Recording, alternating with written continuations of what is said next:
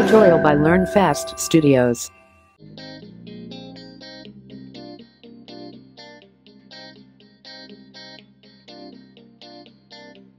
Now let us see the graphical representation of the single linked list. The basic building of the single linked list is a node. In each node, we have the two portions. One is a data portion, second one is a link to the next portion. Let us assume our node is allocated at the location 250. If we are having one more node at 300 in the first node's next portion, we are holding the address of the second node. As per the implementation of the node, the last nodes next may be stored with either none or null. Let us assume these are the two nodes in the single list for this example. Head is a pointer that holds the address of the first node. In this particular linked list, the first node is residing at 250, hence head contains the value 250. Similarly, we are also having one more navigative pointer which is nothing but the tail pointer.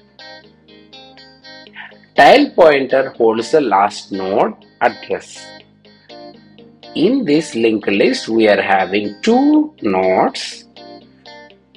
The second node is the last node. It's stored at the location 300. Hence, the tail pointer holds the value 300. Let us take this example. In this example, we are having one linked list with two nodes. The first node is residing at the address 250, second node is residing at the address 300. And this is also the last node. In order to differentiate the last node from others, the last node's next does not contain any value. It need not to be none always. It depends on the programming language which we are using to implement the linked list. Since in this tutorial video, I am talking about the Python implementation for the linked list, hence I am using the notation as none. Since the none in Python represents the null value. Head is a pointer that holds the address of the first node, hence we store the value 250 here. If at all, if we want to insert the new node in the beginning, head should point to the new node and the new node should point to the first node. These are the two steps. Now let us try to see the order of the execution of this particular program insert begin.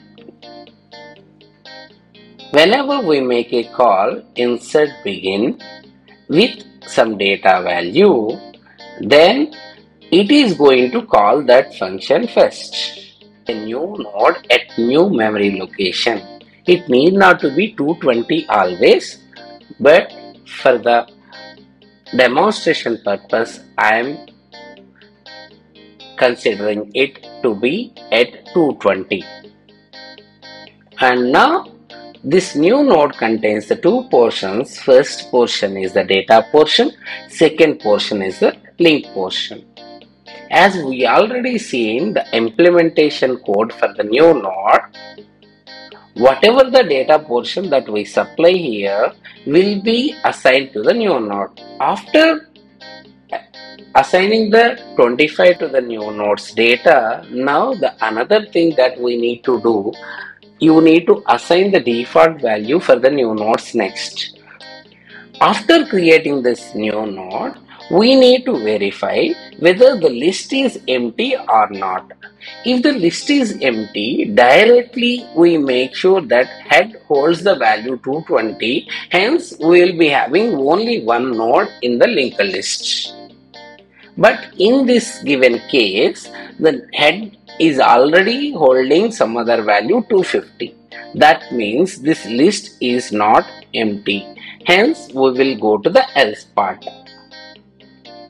Once we reach the else part, then first step that we need to do is whatever the value that head is having, that value has to be copied to the new nodes next. By means of this step, we are making sure that new node from the new node we can reach to the first node. The next step is we need to store the address of the new node to the head.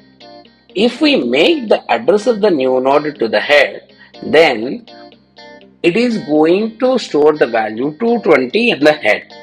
That means we are getting the reference from head to the new node like this. That is how we are able to fix the new node in the beginning. That's it for this session. Let us see how we can perform other operations in the rest of the tutorials. Thank you.